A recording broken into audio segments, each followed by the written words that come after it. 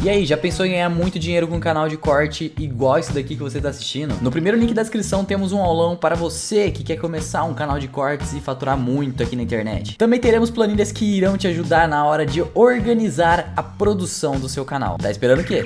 Nessa pandemia que teve agora, eu me senti um pouco acuado. Nunca tinha morado em casa. Uhum. Nunca tinha morado em apartamento. Fui morar em apartamento em 2020, quando eu saí da casa dos meus pais. Uhum. 2020 foi o começo da, da pandemia. Você é, mudou por isso ou não? Não. Eu já tava doida pra morar sozinha, uhum. né? Pra poder gravar melhor os meus conteúdos, porque eu só tinha o um, meu quarto que eu dividia com meu irmão, não. entendeu? Uhum. Falei assim, ah, não, gente, tô fazendo minhas publizinhas, já dá pra pagar um apartamento de 1.400 reais o aluguel. Deixa eu sair daqui. Aí aluguei esse apartamento começou a pandemia. Eu falei, gente, agora? Eu vou ter que. Como é que eu vou trabalhar e pagar isso aqui? Mas deu certo. Só que aí começou a ficar pequeno para mim, entendeu? Porque eu faço meus conteúdos lá, gravo lá, às vezes vai equipe, já não dá. E aí eu resolvi mudar para um espaço. Como eu falei, apartamento para mim eu já tava me sentindo muito mal, muito sufocada, uhum, sabe? Uhum. Eu acho que foi um momento muito delicado para todo mundo. E eu falei assim: ah, eu queria, sei lá, pelo menos ter um, um quintal para ficar sentada, tomar um sol, né? Pegar uhum. uma, um, um, bronze, uma coisinha assim. E dá mais privacidade casa também, é... né? Porque no apartamento escuta tudo. Exatamente, menina. Até se a pessoa estiver fazendo lá, dá. né? Do lado de noite, assim, com boy, dá pra ouvir. Dá. É, aí eu queria me mudar, então resolvi procurar uma casa. Só que assim, eu queria morar em casa em condomínio fechado. E a maioria das casas em condomínio fechado, é, do jeito que eu queria, são mais na Zona Oeste. Eu até tava explicando isso, isso outro dia para um colega meu, porque o Rio de Janeiro, muita gente fica confusa, acha que a Barra é perto de, de Copacabana. Nanana, eu, são... eu sou assim, confusíssima com o Rio, eu não entendo direito como é... funciona ali. Eu só e... sei que é longe. Isso, é longe. e assim, Zona Sul tem muito apartamento, cobertura, né? E aí eu queria casa e é mais pra região da Zona Oeste.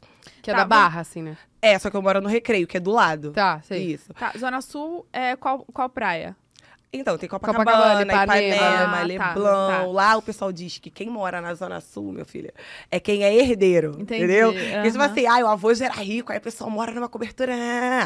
Quando você é emergente, igual eu, assim, cara pobre, do nada, a pessoa conseguiu ganhar um dinheirinho, entendeu? Aí vai e mora lá na, na Barra. Até isso lá no Rio, o pessoal fala. Não, mas na Barra tem umas mansões. Tem, menina, tem. Mas é a galera lá, às vezes, né, que, que era igual eu, emergente. De Nova Iguaçu, o povo vai logo querer morar na, na Ah, então é, é, igual aqui onde a gente mora. Por quê? É isso? ah, é porque aqui também, quem é herdeiro, mora onde? No Jardim, uhum. Itaim, entendeu? A gente mora aqui porque é emergente. e tá tudo certo. É, lógico. E aí eu resolvi é, pegar uma casa mesmo, assim. Pra mim, é, eu acho que me faz bem eu trabalho em casa, muita coisa eu faço em casa. Eu não tenho deslocamento, tipo, ah, sair de lá e gravar em algum lugar. Eu prefiro em casa, então tinha que ter um, um espaço um pouco maior. E aí tô nessa obra aí, né, que eu falei, ah, eu não quero construir.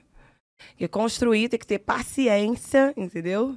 Tempo. E muito dinheiro também. É. E tá, aí... E como é que foi a história, então? Você pegou. Ela já tava na metade? É... Conta isso, que você tava contando enquanto eu tava é. É, tava ali já fofocando.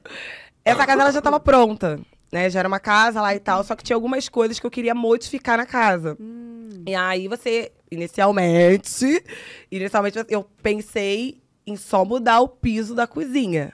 Falei, ah, esse piso não tá muito legal, vou trocar só isso. Aí do piso tu quer pintar a parede, aí do piso tu quer fazer isso, aquilo. Só que aí você leva um susto quando você vê o boleto chegando, vendo o preço do é, negócio, é, né? Aí, mas eu e acho. aumentou tudo, tá? Aumentou. Gente, aumentou muita coisa. Eu criei um Instagram para compartilhar todo o processo da casa, o piso que eu compro, que o pessoal pergunta. Aí eu vou e posto lá qual que é e tudo mais. O pessoal tem essa curiosidade de saber é, todos os detalhes, igual o casamento. Igual quando a pessoa vai casar é. que compartilha, o pessoal quer saber, eu vesti. Né, né. E aí eu resolvi criar esse Instagram. Isso é legal também, e... porque aí foca tudo num, num lugar só, é... né? Não ficar misturado. Pode tudo num lugar. E aí muita gente me manda feedback falando, Camila, eu reformei minha casa em 2017 e o preço do piso, do cimento, era Nossa. tal. O saco de cimento dobrou de valor, gente. Não, eu Meu sou uma Deus. pessoa que eu não tenho noção de, de preço das coisas, né? Então, tipo, não, não tinha muito essa noção, porque eu nunca tinha construído, então não, não, tinha, não via quanto que era o valor de cimento. Mas aí o pessoal me manda e fala, ai, aumentou. Aí eu fico, gente, Aumentou daqui, a, daqui a cinco anos vai estar. Tá... Não. É pior.